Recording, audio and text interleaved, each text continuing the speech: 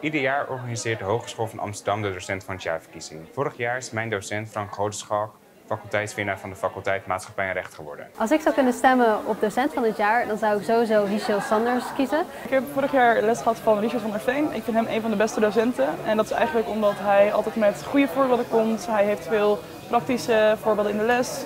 Ehm, daarnaast laat hij heel veel visuele beelden zien, waardoor je ook dingen kunt onthouden op een visuele manier, wat voor mij bijvoorbeeld heel goed werkt. Frank Godeschalk is een docent die gekenmerkt wordt door de praktijkvoorbeelden die hij geeft. Zo zijn we vorig jaar met de les naar het Vredespaleis in Den Haag geweest. Zij heeft namelijk samen met een, een team van docenten de HVA Diversity Hub opgezet. En daarmee wil ze eigenlijk laten zien dat iedereen welkom is binnen de HVA. Daarnaast, als je gewoon goed je best bij hem de les deed en je had een vraag, dan kon je altijd bij hem terechtkomen. En dan wil hij hem echt altijd beantwoorden.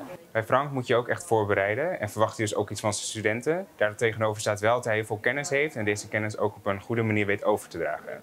Wil jij nou ook je stem uitbrengen op docent van het jaar?